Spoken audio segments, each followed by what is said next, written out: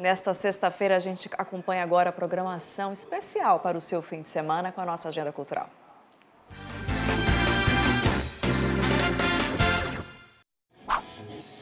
O fim de semana chegou e com ele uma programação recheada de boa música. E a festa já começa nesta sexta-feira com muito rock no Porão do Alemão. No palco, sucessos de dois gigantes que marcaram a década de 80, Ahá e RPM. O show começa daqui a pouco, às nove da noite, com entrada gratuita. No sábado é a vez do samba tomar conta. E o Cinho de Cima e grupo Samba da Maloca fazem a festa, a partir das 5 horas da tarde, na Avenida Raimundo Parente, ao lado do Clube Municipal. Mas a temporada também é bovina, não é mesmo?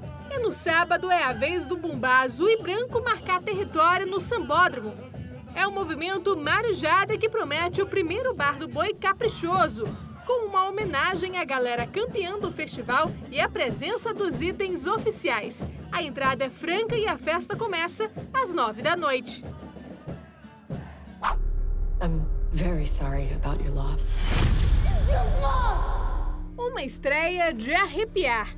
O fim de semana é marcado pelo longa A Maldição da Chorona, na Los Angeles da década de 1970. Uma mulher viúva cria os dois filhos sozinha e começa a ver semelhanças entre um caso que está investigando e uma entidade sobrenatural.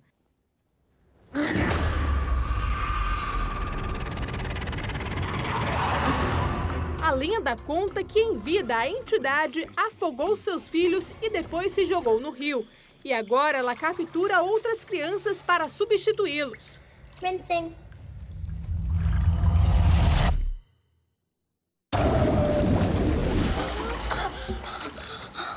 Agora é só aproveitar as dicas e curtir muito o fim de semana.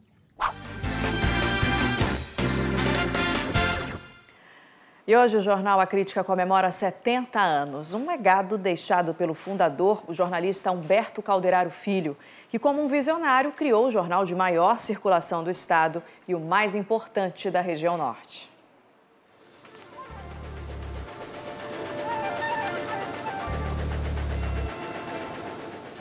Dessas máquinas fortes e imponentes, a impressão diária da história do Amazonas.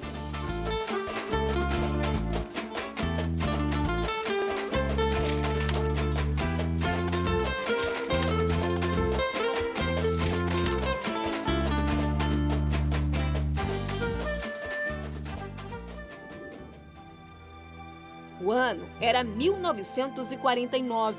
Manaus enfrentava problemas na economia e o luxo herdado do ciclo da borracha já estava adormecido. As notícias corriam pela cidade, mas ler jornal era privilégio de poucos. Uma realidade que o jovem Humberto Calderaro decidiu mudar.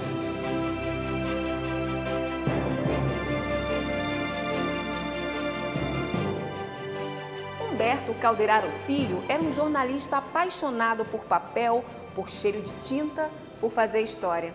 E no dia 19 de abril daquele ano, escreveu um capítulo importante do jornalismo amazonense. Colocou em circulação aquela que seria a primeira edição definitiva do jornal A Crítica. E com um lema forte, um propósito: caminhar sempre de mãos dadas com o povo. Foi muita luta, muito, muito desespero, muita decepção, mas eu sempre tive um caráter forte de enfrentar as vicissitudes. Enfrentei, passei por cima de tudo, dei uma volta por cima e construí um patrimônio moral para o povo amazonense. Este jornal foi construído com apoio popular. Nas páginas antigas do jornal A Crítica, os fatos mais importantes da história recente do país, como a morte do presidente Tancredo Neves e a visita do Papa João Paulo II a Manaus no início da década de 80. Um patrimônio guardado nessas prateleiras da Biblioteca Pública do Amazonas. A Crítica é um jornal que faz parte da história do Amazonas, mais recente, digamos que não tem um século ainda, mas é significativo já para a minha geração, para gerações posteriores e anterior à minha. É, ela estava presente no cotidiano, registrando, discutindo questões políticas, sociais. Essas coisas são todas significativas para, de certa forma, auxiliar nas decisões da, da população, assim, na escolha de um governante, enfim. Na edição sobre a morte de Tancredo Neves, Antônio Mendes lembra bem. Diagramador do jornal há 48 anos já fez inúmeras capas, mas considera aquele 21 de abril de 1985 um dos episódios mais marcantes da carreira. A edição do dia seguinte já estava até pronta, mas teve de ser refeita. Faleceu, é, não sei se foi uma ou duas horas da manhã. E aí o jornal ficou é, refazendo a edição, entendeu? E essa, essa edição ela saiu 8 horas da manhã, circulou 8 horas da manhã. Teve que ser refeita toda? Toda a edição foi refeita baseado na, nos fatos da morte dele, os detalhes da morte, tudo, né? Agora, o fato mais interessante disso aí é que 11 horas da manhã você podia procurar um jornal na, nas bancas que você não conseguia. A edição esgotou é, em três horas de circulação. De 1949 para cá, muita coisa mudou. O jornal cresceu, ganhou mais páginas, a tecnologia avançou e a redação do jornal ficou mais moderna. Mas mesmo depois de 70 anos, um compromisso resistiu ao tempo, levar ao povo um jornalismo sério e de credibilidade.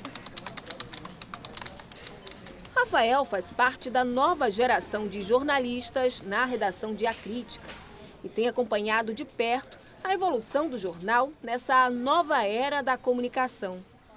Eu costumo dizer que o jornal nunca vai acabar, né? Você, é, é, tão bom você pegar o papel, você sentir o papel, você ver o trabalho fotográfico, né? Também que é, é feito, se reinventar e se reinventar de novo, e de novo, e de novo, e de novo, e, e fazer história. Seja no computador, seja no papel, a notícia do dia não é a mesma sem a imagem. Muitas dessas capas de A Crítica foram para as bancas com o registro dele, Antônio Lima, fotógrafo do jornal há 26 anos. Uma vez eu estava com uma repórter ali na Avenida Constantino Neri e passou um cara numa moto, muito estranho porque estava com um revólver, o cabo do revólver nas costas e a placa da moto estava virada. Ele passou, parou no sinal, mas ficou distante, não tinha como fotografar, que eu era motorista. Aí, quando o sinal abriu, ele entrou atrás do Vivaldo Lima, na época, e eu passei direto, fui e fiquei esperando em frente ao Sambódromo. Aí ele passou em frente a onde é a delegacia geral agora, que era o IML. Quando ele passou, eu fiz a foto dele passando com aparecendo a placa e o, e o revólver. Aí foi, foi capa. Ao longo dos anos, o jornal contou a notícia, mas também retratou a vida social do Amazonas. E há quase três décadas, Júlio Ventilari faz parte do time. Para o colunista, Humberto Calderaro foi muito mais que um líder, foi amigo e professor. O Calderaro nunca manteve assim, um empregado longe dele, ele sempre foi muito acessível. E o que você pedia para ele, ele, ele dava. Se você dizia, assim, seu Calderaro, queria um, a minha conta de telefone está atrasada. Tu ficas falando com todo mundo, gasta muito telefone, tá bom, eu vou pagar para ti. Ele sempre foi assim com, com, com, os funcionários dele. Ele nunca considerava empregados, ele tinha um carinho especial. Então, eu tenho a, a, o jornal A Crítica como um, a, o meu, a minha a minha enseada, o meu local, minha ilha particular, porque tudo que eu tenho na vida eu devo aos Calderaro e ao jornal A Crítica, onde eu trabalho há 29 anos.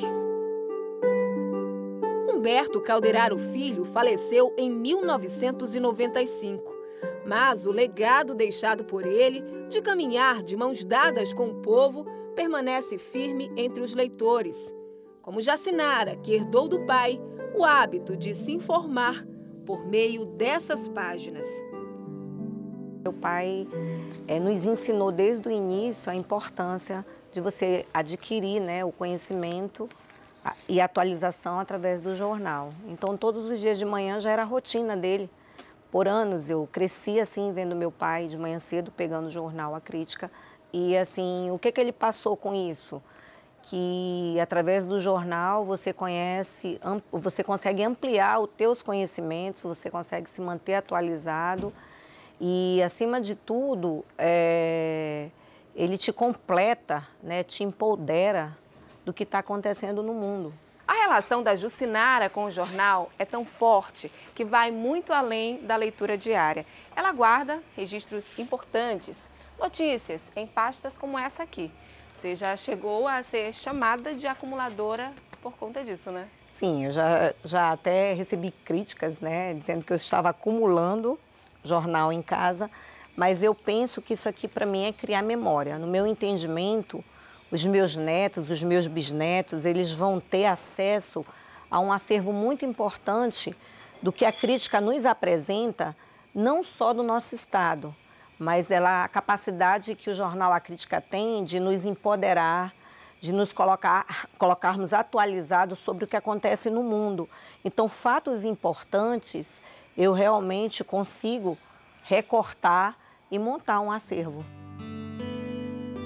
compromisso com a notícia que resistiu ao tempo e atravessou gerações. É no dia a dia que o neto e hoje vice-presidente da Rede Calderaro honra a memória do avô. E nesta sala, inspiração não falta. O legado de uma empresa que caminha de mãos dadas com o povo, é, que luta por isso todos os dias para se manter aí no mercado em transição, no mercado em mudança, porém uma coisa não muda esse amor pelo povo amazonense e o jornalismo de credibilidade que ele nos ensinou e pediu que a gente seguisse fazendo. A edição deste 19 de abril de 2019 do jornal A Crítica vai ser a de número 24.666.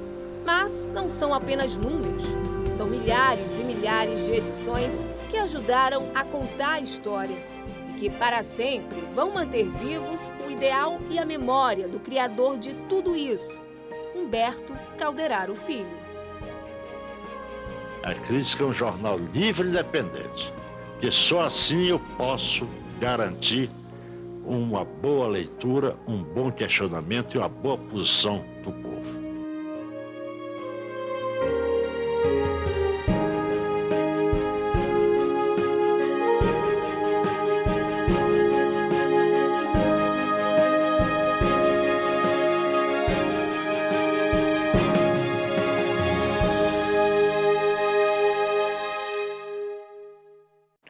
Boa noite para você, feliz Páscoa e até segunda.